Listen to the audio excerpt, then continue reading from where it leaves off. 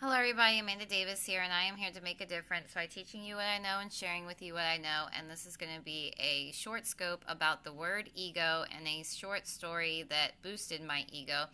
And so, really, it's more, um, I guess, something that happened over time. Um, I uh, I had a rough couple of years of teaching, my first couple of years of teaching. I guess we all kind of do because it is hard to teach, um, especially your first couple years coming out. And um, so once I switched gears and went into early childhood, um, I honestly, hi, uh, Collier.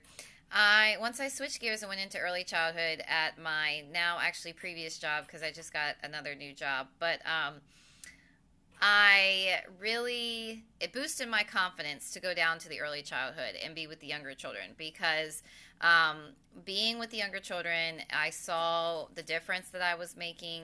I had parents and I had the parental support. Um, I had the administrative support. I had coworker support, um, and it was night and day, you know, day, um, all the way with my job working with the younger children. And so it was definitely an experience that boosted my ego and made me confident. And now going into my new teaching job, actually teaching kindergarten, so still young, um, but a little bit older because I was doing pre like super early preschool. So it was like two year olds. And then actually the last few months I had been doing one year olds, uh, teaching one year olds. So teaching two year olds and teaching one year olds and then to switch gears and go back to five year olds is a little bit different.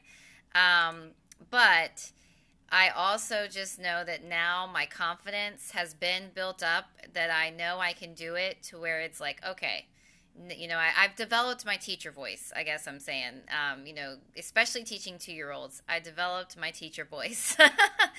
so that really boosted my self esteem and my ego to make me feel confident as a teacher.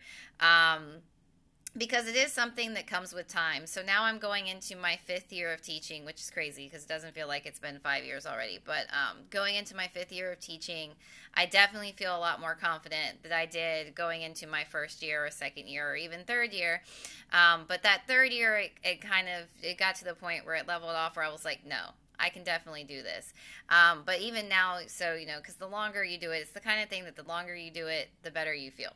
Um, all right, I'm going to end this before I even promote PeriGirls because I don't want it to be too long. But PeriGirls.com, check us out, and I will see you guys later. Thank you, Collier. And thank you to all of the replay web and Twitter viewers as well.